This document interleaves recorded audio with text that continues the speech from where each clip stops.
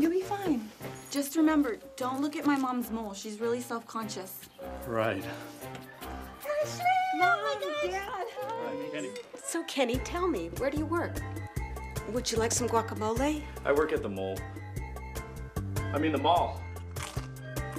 This is really good guacamole. Hey, when you need a ride, Yellow Cab's for you.